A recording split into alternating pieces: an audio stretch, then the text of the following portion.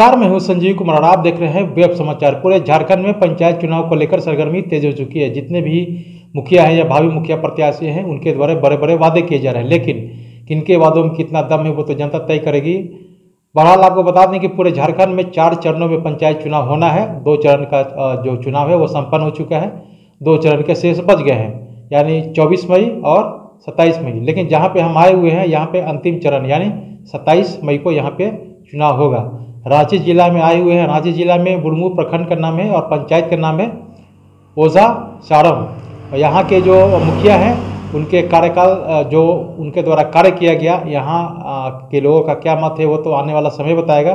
सत्ताईस तारीख को कि किसके सर पे ताज इस ओड़ा साड़म अ, जो पंचायत का जो ताज है किसके सर पे विराजमान होगा। तो बहरहाल अभी हमारे साथ जुड़ी हुई हैं भावी मुखिया प्रत्याशी हैं। मैं उनसे जानता हूँ कि अगर आप मुखिया बनते हैं तो क्या कुछ डेवलपमेंट करने का काम करेंगे? और उनके बगल में बैठे बैठे हुए हैं राजू उराव जी हैं जो एक सामाजिक कार्यकर्ता भी हैं।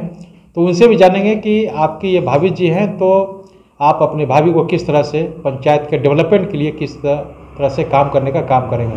पहले तो आपका क्या नाम हो गया? ललिता देवी जी बताइए। जोहार। हम्म, मेरा नाम ललिता देवी है। मैं ओझा सड़न पंचायत का मुखिया प्रत्याशी हूँ। जितने भी? जितने जितने जितने भी कार्य योजना? जितने भी सरकारी कार्य योजना आती है हम्म, उसको मैं धरातल पर लाने के लिए कोशिश करेंगे। कोशिश करूँगी। अगर मुखिया बन जाते हैं तो। मुखिया बन जाते हैं तब। जी। अच्छा ये बताइए इसके बाद मैं राजू जी से मैं जानना चाहूँगा कि आपकी भाभी हैं तो अगर मुखिया बन जाती हैं तो क्या कुछ डेवलपमेंट करने का काम करेंगे? साथ साथ अभी आप लोगों के बीच जा रहे हैं तो लोगों का क्या शिकायत है और क्या डिमांड है तो राजू जी से मैं जानता हूँ। राजू जी आपको भी वेब समाचार में बहुत बहुत स्वागत। जी सबसे पहले बहुत बहुत धन्यवाद आप सभी हमारे यहाँ आए। जी। और मैं पुनः सबको जोहार करता हूँ। आज जिस तरह से ओझा साड़न का परिस्थिति रहा इन ग्यारह साल का जो कार्यकाल साढ़े ग्यारह साल का कार्यकाल जो त्रिस्तरीय पंचायत चुनाव से आज मुखिया प्रत्याशी चुन के आए हुए थे। आज इस बीच बहुत सारी कमियाँ जो रही आज जनता के बीच जो एक मूलभूत सुविधा जो होना चाहिए था वो नहीं हुआ। और आज हम लोग निम्न वर्ग से उठकर आगे आए और कहीं ना कहीं समाज के लिए हमें चिंता थी और इसीलिए हम लोग आज मुखिया के लिए हम खुद प्रत्याशी थे लेकिन आज लेडीज़ सीट होने के चलते आज मैं अपना भाभी को समर्थ समर्थन दिया हूँ और निश्चित तौर पर मैं कहना चाहता हूँ कि भाभी हमारी मुखिया प्रत्याशी में अभी फाइट कर रही हैं जीत के आने के बाद निश्चित तौर पे हम लोग विकास करेंगे। सबसे पहला मेरा है जो अच्छा आप जल संपर्क कर रहे हैं तो लोगों से जल संपर्क है तो लोगों का क्या डिमांड क्या है? जी पूर्व में हम समाज सेवी अभी भी समाज सेवी हैं। तो हम लोग घर घर जाके चाहे स्वास्थ्य की बात हो जब किसी का परेशानी हो बारह बजे रात हो या एक बजे रात हो हम लोग सबको मदद पहुँचाने का काम करते थे। क्योंकि आज इस गाँव क्षेत्र में पढ़े लिखे लोग बहुत कम होते हैं जागरूक कम होते हैं और हॉस्पिटल नहीं ले जाने की वजह से कहीं ना कहीं नुकसान होता है। तो हम लोग हमेशा लोगों को समझा बुझा कर हम लोग हॉस्पिटल का अगर मैटर हो तो हॉस्पिटल हम लोग ले जा जाते हैं। कहीं किन्हीं को पढ़ाई लिखाई में दिक्कत होती थी हम लोग हर एक स्कूल कॉलेज में हम लोग दाखिला भी कराते थे। और पूर्व में ही जैसे राशन कार्ड हो गया वृद्धा पेंशन विधवा पेंशन इसमें बहुत धांधली हो रही थी। इसमें हम लोग बढ़ चढ़ के हिस्सा लिए और समाज के लिए एक अच्छा काम करने का मौका मिला। इसलिए हमें आज जनता भी चाह रही है। आज हमारे क्षेत्र में छः छः मुखिया प्रत्याशी हैं। और जबकि मेरा गाँव से ही दो चार उठे हैं लेकिन आज आपको शायद भ्रमण कर रहे हैं तो आपको विश्वास हो रहा दिख रहा होगा कि क्या मतलब माहौल है। नहीं, यहाँ का तो जो मामला मुझे जो दिखाई दे रहा है, वो बाहरी बनाम स्थानीय दिख रहा है। जैसे जो पूर्व मुखिया थे, उनको लोग कह रहे थे कि भाई बाहरी लोगों के समर्थन की वजह से वो मुखिया बन रहे थे, लेकिन इस बार जो लोगों का जो मूड है, वो चेंज हो चुका है स्थानीय को मौका देना चाह रहा है। तो आप लोगों के बीच जनसंपर्क कर रहे हैं तो लोगों का क्या रुझान है, क्या कुछ लोग कर रहे हैं? मांग क्या है उन लोग का। जी बिल्कुल सही। आज जितने भी हमारे मतलब आज दो दशक यानी एक दशक बीतने के बाद आज दो दो मुखिया आए हमारे। आज लोगों के वोट से आज वो जीत के गए हैं। और जिस तरह से जिस तरह वादे करके गए हैं जीत के और कहीं ना कहीं लोगों के साथ उन लोगों ने धोखा किया। आज सब पूरे समाज पूरे जनता ओजासाड़म की जनता वोट दी। और आज कहीं ना कहीं एक दो व्यक्ति विशेष पे काम किया आज।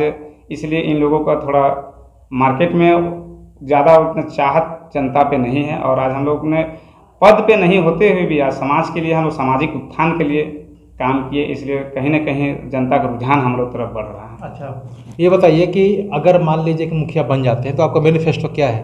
आखिर मुखिया लोग आपको वोट क्यों करें? आपने कुछ सोचा होगा ना कि आ, किसानों के लिए क्या कुछ बेहतर करेंगे? अगर कोई भी मुखिया बनेगा तो सरकारी योजना को धरातल पर लाएगा। स्पेशल आपने क्या सोचा है किसानों के लिए? जी, सबसे पहले तो आज मेरा सबसे पहला मुद्दा है सड़क। जो आज ये मेन रोड जो खिलाड़ी जो निकालती है आज, इस रोड से जितने भी सड़क जुड़ी हुई है सब ज़्यादातर सड़कें कच्ची होने के चलते आज बच्चे स्कूल नहीं ढंग से पहुँच पाते, कहीं साइकिल से गिरने की वजह से चोट लग जाती है। किसान कभी कभी सब्ज़ी बेचने के लिए निकलते हैं तो टेंपो पलट जाने से नुकसान हो जाता है। तो सबसे पहला मेरा मुद्दा है कि सड़क को दुरुस्त किया जाए। सड़क को दुरुस्त किया जाए। दूसरी बात है कि हम आज यहाँ पे बहुत अशिक्षित लोग हैं आज भटके हुए लोग हैं तो आज उन लोगों को एक मंच पे ला के शिक्षा पर बढ़ावा दिया जाए। और आज कहा जाता है शिक्षा वो शेरनी का दूध है जिसने पिया उसने दहाड़ा है। तो इसलिए आज कहीं ना कहीं हम लोग शिक्षा को महत्व दिए और शिक्षा कुछ शिक्षा ग्रहण करने के बाद आज हम लोग आगे आए समाज में तो हमें लगा कि पहला प्राथमिकता हमें सड़क को दूसरा शिक्षा को तीसरा स्वास्थ्य को। आज यहाँ पे करोड़ों रुपया खर्च करके यहाँ पे बहुत सारे स्वास्थ्य केंद्र बनाए गए स्वास्थ्य उपकेंद्र बनाए गए लेकिन आज यहाँ पे डॉक्टर नहीं रहते हैं। आज उन इन, इन परिस्थितियों में आज इलाज कराने के लिए लोग यहाँ से पंद्रह किलोमीटर दूर जाते हैं। बुढ़मू जाना पड़े तो दस किलोमीटर दूर होता है। तो कहीं ना कहीं आज इतना फंड खर्चा करके कहीं ना कहीं हमारा पंचायत का दुर्भाग्य है। तो मैं डॉक्टर का भी यहाँ बहाल कराने का हम सरकार से भी मांग करेंगे और जो अंचल से बंद पड़े अंचल से भी मांग करेंगे और जहाँ इसके लिए हमको जाना पड़े हम लोग जाएँगे। जाएँगे। जी। लेकिन हर स्तर पे इस पंचायत का डेवलपमेंट करने का आप मन बना लिए हैं। अगर मुखिया बन जाते हैं तो। जी। अच्छा बताइए कि इस पंचायत को मॉडर्न पंचायत के रूप में कैसे डेवलप करेंगे?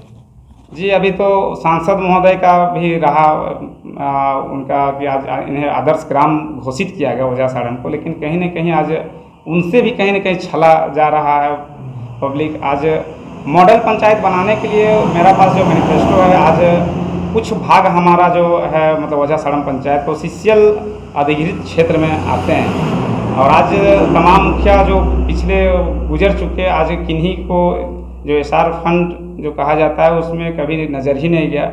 हम लोग कई बार जीएम से भी बात की इस विशेष पर, लेकिन हम लोग का कोई पद नहीं होने के चलते हम लोग ज़्यादा वैल्यू नहीं दी गया। तो मैं सबसे पहला जो सीसीएल द्वारा जितना भी कार्य यहाँ कराना है, उसे हम पहला प्राथमिकता उसको भी देंगे। और जो मुखिया फंड से आज देखा जाए तो बहुत ही अच्छा फंड मिलता है गाँव क्षेत्र को विकास करने के लिए। आज किसानों के लिए देखा जाए या तो फिर मजदूरों के लिए दिखा, देखा जाए, सभी के लिए बहुत ही अच्छा अवसर रहता है काम करने के लिए। लेकिन कहीं ना कहीं चूक है, इसलिए हम लोग पिछड़े हुए हैं, लेकिन पूर्ण विश्वास है कि हम लोग आने के बाद ये सारे कमियाँ को हम लोग दूर करेंगे। कमी को दूर करें जी। तो आपने सुना कि जिस तरह से भावी मुखिया प्रत्याशी हैं ललिता। हाँ। ललिता देवी। तो इनका कहना है कि अगर मैं मुखिया बन जाती हूँ तो हर स्तर पे डेवलपमेंट या उनके जो सलाहकार हैं या जो देखभाल करने वाले हैं प्रतिनिधि हैं तो इनका कहना है कि अगर मैं मुखिया बन जाता हूँ तो इस पंचायत को हर स्तर पे डेवलपमेंट करने का काम किया जाएगा। वो चाहे वो सड़क हो नली हो गली हो बिजली हो पानी हो इसके साथ साथ शिक्षा स्वास्थ्य रोज़गार को लेकर भी कई अहम मुद्दों पर इन्होंने बताया कि अगर मुखिया मैं बन जाता हूँ तो इस पंचायत को ऐतिहासिक आदर्श और डिजिटल बनाने के लिए या मॉडल बनाने के लिए हर स्तर पर डेवलपमेंट करने का काम करूँगा। हालाँकि इनका कहना है कि कुछ ऐसे क्षेत्र हैं इस पंचायत में जो सीसीएल क्षेत्र में आते हैं तो वहाँ पर डेवलपमेंट करने का जो जिम्मेवारी होता है वो सीसीएल क्षेत्र का होता है। इसी की वजह से वहाँ पे विकास नहीं हो पाता है बहरहाल। अगर मुखिया ये बन जाते हैं तो कोशिश करेंगे कि उस क्षेत्रों में भी अगर कुछ दबे कुचले लोग हैं जो ज़रूरत के जो लोग हैं तो उनको भी हर स्तर से उनको मदद किया जाएगा ताकि इस पंचायत को आदर्श पंचायत के रूप में डेवलप किया जा सके। बहरहाल आप चलते हैं दूसरे पंचायत में वहाँ के भी मुखिया या भाई मुखिया प्रत्याशी हैं उनसे जानते हैं कि उनका क्या कुछ मैनिफेस्टो है तमाम मुद्दों पर मैं उनसे भी बात करूँगा। आपने वेब समाचार में समय दिया इसके लिए बहुत बहुत धन्यवाद। धन्यवाद। जी आपको भी बहुत बहुत धन्यवाद। जी। अगर आपने हमारे चैनल को अब तक सब्सक्राइब नहीं किया तो सब्सक्राइब कर ले, बेल आइकन भी दबाए ताकि हर छोटी बड़ी खबरों शुरू हो सके। बहुत बहुत शुक्रिया।